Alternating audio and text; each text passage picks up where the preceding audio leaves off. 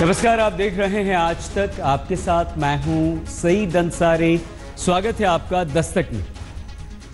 आज से बावन साल पहले एक फ़िल्म आई थी। नाम था उपकार। उस फ़िल्म में गाना था, कस्मे वादे प्यार वफा सब, बातें हैं बातों का क्या? लेकिन असल ज़िंदगी में ऐसा नहीं होता। बातें निकलती हैं तो बहुत दूर तलक निकलती चली जाती हैं। अमित शाह को स्वाइन फ्लू हुआ तो कांग्रेस महासचिव ने एक ऐसी बात कह दी जिससे सार्वजनिक जीवन में सदाचार के छिलके उतरते चले गए। नालियों के अंदर बहा करता था। अगर थोड़ा सा अगर शांत हो जाए तो अच्छा रहेगा।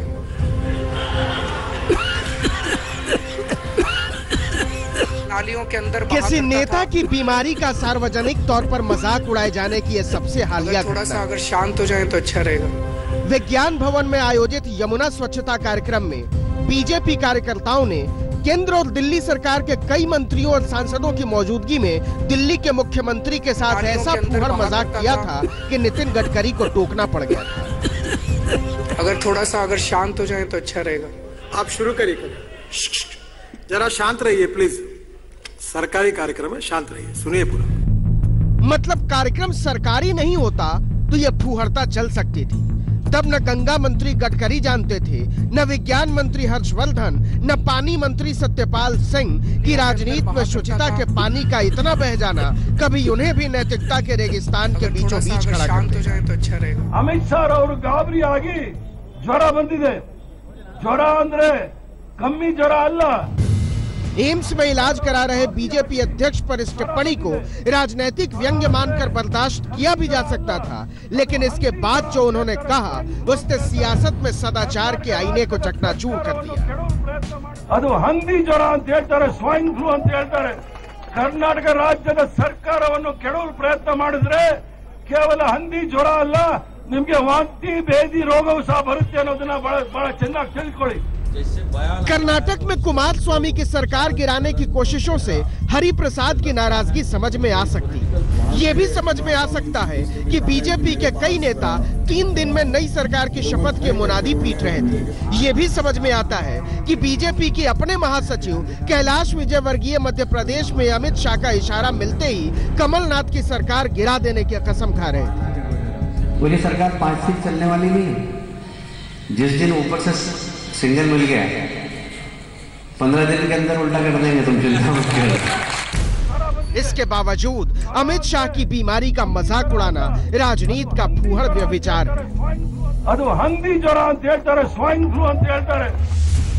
कर्नाटक के दूर दराज के इलाके से कन्नड़ में दिया गया उनका बयान जब दिल्ली पहुँचा तो बीजेपी अपने अध्यक्ष के अपमान और परिहास पर व्याकुल हो एक तरफ़ तो राहुल गांधी जी कहते हैं कि कांग्रेस प्यार की पार्टी है मैं प्यार बांटता हूँ ये प्यार है। राजनीति में मर्यादा तोड़ने के सारे रिकॉर्ड कांग्रेस ने बनाए।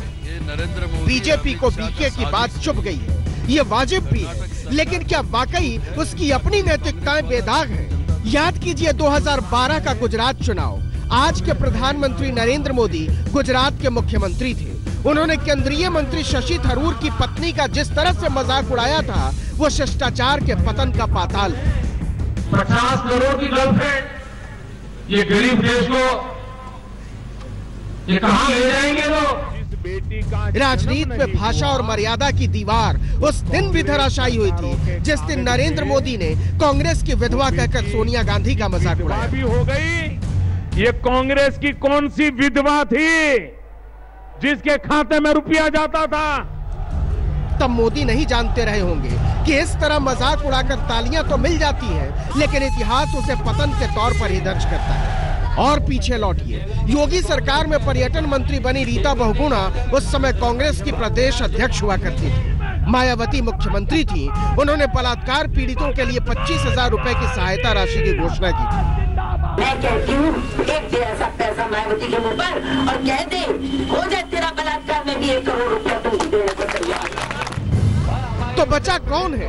कोबर छोट कहत अपराध अमित शाह पर बीके हरिप्रसाद के टिप्पणी पर मचे तूफ़ान के पीछे शिष्टाचार को दफन कर देने की लंबी दास्तान।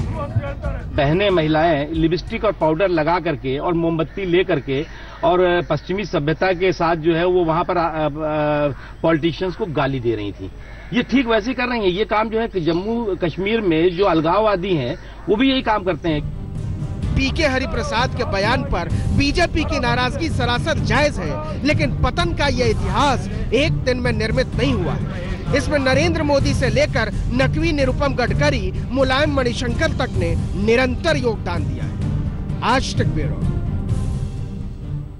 जब अपनी ज़िम्मेदारी की बारी आती है तो राजनीति में सब बातें बनाने लगते हैं। अरविंद केजरीवाल को ही आप ले लीजिए। एनजीओ चलाते थे तो बहुत बेघरों और रैन बसोरों की बातें किया करते थे। लेकिन केवल एक महीने में ठंड से दिल्ली में 109 लोगों की मौत हो चुकी है और अरविंद केजरीवाल को कोई फ़र्क नहीं पड़ता। हैरानी की बात तो यह है कि उनके मंत्री हैप्पीनेस थेरेपी के नाम पर अस्पताल में नाच रहे हैं। इस दृश्य ने संवेदना का ऐसा जाल बुना था कि दर्शकों ने बॉक्स ऑफ़िस पर रुपया उलीच दिया। संजय दत्त, बोमन ईरानी और अरशद वारसी जैसे कलाकारों ने गांधीवाद, स्वास्थ्य व्यवस्था मेडिकल की पढ़ाई और गरीबी को मिलाकर मनोरंजन की बम्बैया बिरयानी बना डाली। सिनेमाई इतिहास की उस घटना के पंद्रह बरस बाद वही दृश्य दिल्ली के एक अस्पताल में नज़र आया। फागुनी पाठक के टेप पर अखा अस्पताल नाच रहा था। लेकिन मुन्ना भाई एमबीबीएस और गुरु तेग बहादुर अस्पताल में एक फ़र्क था। वहाँ मंत्री नहीं नाच रहे थे और यहाँ साक्षात सत्येंद्र जैन नृत्य की मनोहारी भंगिमाएँ बना रहे थे। डॉक्टर नाच रहे थे नर्सें नाच रही थी मरीज़ नाच रहे थे। अस्पताल के वार्ड जब भांगड़ा और डांडिया के मैदान बन जाएँ, तो मान लेना चाहिए कि अच्छे दिन आ गए। कम से कम दिल्ली के स्वास्थ्य मंत्री तो यही मानते हैं। हैप्पीनेस थेरेपी कहते हैं इसे। जब जितना आदमी खुश रहेगा उतना ही पॉजिटिव माइंड माइंडसेट होगा उतना जल्दी स्वस्थ होगा। अगर बीमार है तो भी जल्दी ठीक हो जाएगा। तो हैप्पीनेस थेरेपी को हमने जीटीबी हॉस्पिटल में डॉक्टर सुनील गौतम की यहाँ पे डायरेक्टर हैं इनकी अगुवाई में इसको स्टार्ट किया है। अभी हमने मेटर्निटी वार्ड में स्टार्ट किया है धीरे धीरे सभी वार्ड्स में किया जाएगा। कोलंबियाई लेखक गैब्रियल गार्सिया मार्केज ने उन्नीस सौ पचासी में एक उपन्यास लिखा था love in the time of cholera मतलब महामारी के दिनों में प्रेम। दिल्ली के फुटपाथों से रात को गुजरते चले जाइए आपको ये महामारी मीलों पसरी मिलती जाएगी। ठिठुरते हुए लोग सारी रात सुना सकते हैं आपको इस महामारी की मर्मस्पर्शी कथाएँ। अगर बंदा से थोड़ा कॉम्प्रोमाइज करेंगे हाँ। थोड़ा हार थोड़ा कंबल वगैरह करेंगे हाँ। तो हमारा थोड़ा बंदा मिल जाएगा और थोड़ा खाने के लिए। अब देखिए मिलाते चले जाइए दृश्यों को एक दूसरे के बरक्स। एक तरफ़ इलाज है तो दूसरी तरफ़ बीमारी।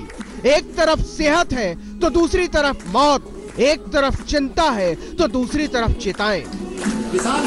और इन दोनों दृश्यों के बीच से खड़ा हुआ सवाल इंसानियत के सत्ता और सत्ता के इंसानियत के बीच को तो मीनार बन गया है कि 109 मौतों के आंकड़ों पर बैठा हुआ मंत्री डांडिया कैसे कर सकता है? जी हाँ पिछले एक महीने में ठंड से दिल्ली में 109 मौतें हो चुकी 24 घंटे में ही सर्दी से ठिठुरते हुए सात लोगों की मौत हो गई। एक रिपोर्ट के मुताबिक केवल 6000 लोगों के लिए दिल्ली में रैन बसेरों की व्यवस्था है। लेकिन इसी दिल्ली में सत्तर हज़ार से भी ज़्यादा बेघर फुटपाथों के भरोसे है। कमी कहाँ आ रही है जिसकी वजह से ये मौत हुई है? नहीं अभी ये जो बात आप कह रहे हैं मैं अभी डिपार्टमेंट से रिपोर्ट लेकर फिर बताऊँगा। तो सत्ता के लिए ज़्यादा ज़रूरी क्या है? मौत या मज़ा क्योंकि मेडिकल साइंस की कोई भी व्याख्या नहीं कहती कि डांडिया का नाच किसी मरीज़ को चंगा कर सकता है। लेकिन आदमियत और आयुर्विज्ञान की हर व्याख्या कहती है कि सर्द रातों में मुनासिब इंतज़ाम न हो तो चमड़ी गल जाती है फेफड़े जम जाते हैं दिल थम जाता है आदमी मर जाता है। कम से कम साठ से सत्तर लोग। साठ से सत्तर लोग। कैपेसिटी कितनी है यहाँ की? हम्म, बत्तीस। बेड बेड है। यानी दोगुना दोगुने लोग। जी, एक एक बेड पर दो दो, तीन तीन लोग हैं। जो हैरानी की बात है वो ये कि अस्पतालों वाले विभाग के मंत्री भी सत्येंद्र जैन हैं और रैन बसेरों वाले विभाग के मंत्री भी सत्येंद्र जैन हैं। लोग फुटपाथों पर मर रहे थे और मंत्री नाच रहे थे। आपने कब देखा सत्येंद्र जैन को रैन बसेरों में? अरविंद केजरीवाल जब मुख्यमंत्री नहीं थे और परिवर्तन नाम का एनजीओ चलाते थे तो रैन बसेरों के बारे में बहुत बोलते थे। गरीबों ने उनमें एक मसीहाई चेहरा देखा था। तो क्या वो सिर्फ़ सत्ता हासिल करने की नाटकीयता थी? जो सरकार है यहाँ दिल्ली की आम आदमी पार्टी की वो इतना ना कर सकी कि अपने लोगों को बचा सके। कुछ भी लगा देती करना तो चाहिए था। मैंने तो कहीं कुछ होते देखा नहीं। तो अब कहा है अरविंद केजरीवाल? दिल्ली के मरते हुए गरीब केजरीवाल को अब याद क्यों नहीं आते?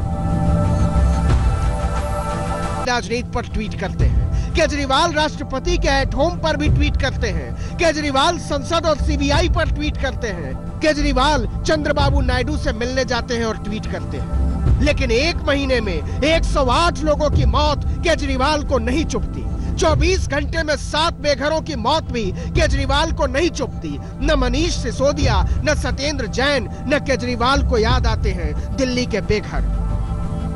केजरीवाल चाहें तो इसमें भी केंद्र की कारस्तानी देखने को स्वतंत्र है। लेकिन ये स्वतंत्रता उन्हें संतोष नहीं देगी।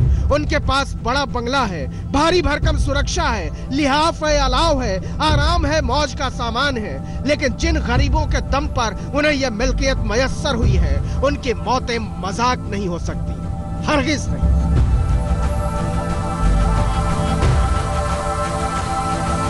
पंकज जैन और कुमार कुणाल के साथ अंकित यादव, दिल्ली, आज तक। कई बार बातें कहीं और से की जाती हैं और निशाना कहीं और होता है। यही महागठबंधन की राजनीति में भी हो रहा है। मीडिया पर हमले के बहाने आज मायावती ने अपने भतीजे आकाश को बहुजन समाजवादी पार्टी में आगे बढ़ाने का ऐलान कर दिया। तो उधर कोलकाता में ममता बनर्जी ने विपक्ष की सबसे बड़ी रैली का मंच सजाकर नरेंद्र मोदी को चुनौती दे दी। सवाल उठा कि मोदी के खिलाफ मायावती हैं या ममता? हम दब्बू किस्म के लोग नहीं हैं कि सुनकर बैठ जाएँगे घबरा जाएँगे। उसका मुँह तोड़ जवाब देना भी हमें आता है। बहुत गुस्से में थी बीएसपी की अध्यक्ष लेकिन केवल इतना कहने के लिए तो उन्होंने आपातकालीन तौर पर मीडिया को बुलाया नहीं। मकसद इससे बड़ा था और इसका बहाना बना दो दिन पुरानी तस्वीर जो जन्मदिन पर सामने आई थी। केक के लिए मची अफरा तफरी। मायावती ने इस खबर को मनुवाद से जोड़ा और बीएसपी को परिवारवाद से। कि मान्यवर श्री काशीराम जी मीडिया को किस प्रकार से वो जवाब देते थे। समय समय पर मैं उन्हीं की ही शिष्या हूँ, चेली हूँ। जैसे को तैसा जवाब देने के क्रम में अब मैं आगे अवश्य ही श्री आकाश को बीएसपी मूवमेंट से जोड़कर मायावती और अखिलेश यादव के साथ खड़े इस तीसरे नौजवान का नाम है आकाश आनंद। मायावती के छोटे भाई और पार्टी के पूर्व उपाध्यक्ष आनंद के बेटे। मायावती पार्टी को आगे बढ़ाने के लिए इन्हीं को प्रशिक्षण देने वाली और जब वो इसका ऐलान कर रही थी तो दिल्ली से एक हज़ार चार सौ इक्यानवे किलोमीटर दूर कोलकाता में महागठबंधन की नई राजनीति का महापंडाल सज रहा था। ममता बनर्जी के आमंत्रण पर 19 जनवरी को ब्रिगेड मैदान से नरेंद्र मोदी को सत्ता से हटाने का बिगुल फूका जाएगा। देखिए कितना बड़ा जमावड़ा होगा। आंध्र प्रदेश के मुख्यमंत्री चंद्रबाबू नायडू, दिल्ली के मुख्यमंत्री अरविंद केजरीवाल, मल्लिकार्जुन खड़गे, स्टालिन जम्मू कश्मीर के पूर्व मुख्यमंत्री उमर अब्दुल्ला कर्नाटक के मुख्यमंत्री कुमार स्वामी उत्तर प्रदेश के पूर्व मुख्यमंत्री अखिलेश यादव बिहार के पूर्व उप मुख्यमंत्री तेजस्वी यादव जिग्नेश मेवाणी गेगांगा पाल January 18th rally, 19th rally. I have got uh, 20 leaders uh, लेकिन ब्रिगेड दस्तक में आज के लिए बस इतना ही। अपना बहुत ख्याल रखिएगा। देखते रहिए आज तक। लेटेस्ट खबरों के लिए यू ही देखते रहिए आज तक। और इस वीडियो के पसंद आने पर लाइक शेयर एंड सब्सक्राइब करना ना भूलें।